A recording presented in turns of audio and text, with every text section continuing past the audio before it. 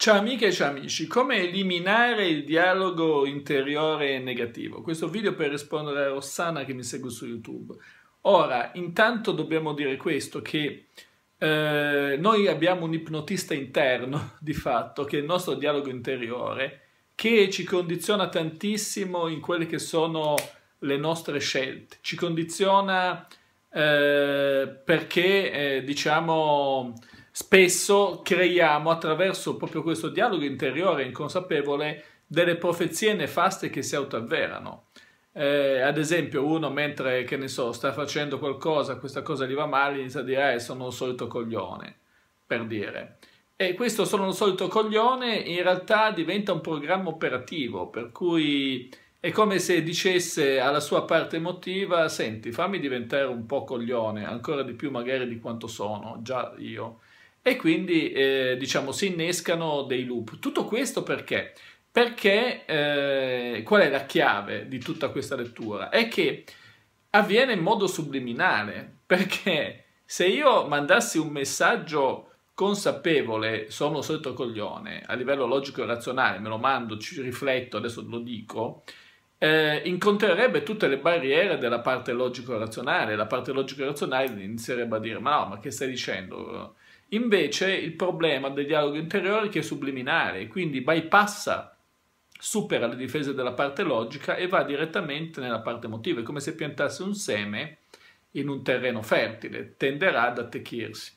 Quindi l'unico modo per, diciamo, eliminare il dialogo interiore negativo è quello di eh, renderlo consapevole. Cioè, io ogni volta che mi, eh, sen- mi, scopro a dire dobbiamo però diventarne consapevoli, altrimenti il dialogo interiore è veramente potente e potrà, diciamo, eh, condizionare molto la nostra vita.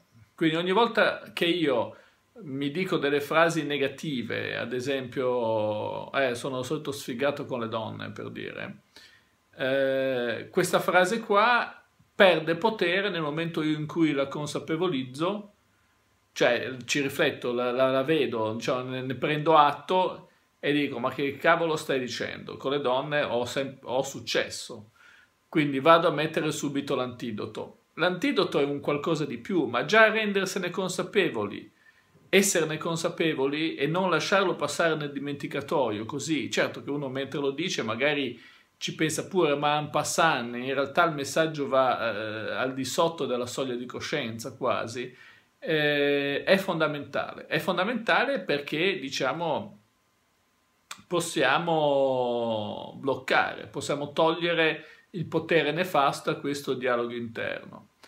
Inoltre eh, c'è da dire una cosa che noi possiamo anche utilizzare eh, un eh, messaggio positivo eh, che deve diventare un, eh, come dire, un intercalare. Quindi dobbiamo renderlo inconsapevole i messaggi positivi, quindi sono il migliore, ci riesco, ho sempre successo. Utilizzare questo tipo di messaggio eh, in modo inconsapevole, in modo tale che noi lo ripetiamo eh, senza neanche più pensarci. Nel momento in cui ripeteremo messaggi positivi senza neanche più pensarci, ci costruiremo delle eh, profezie eh, autoverantesi positive molto interessanti.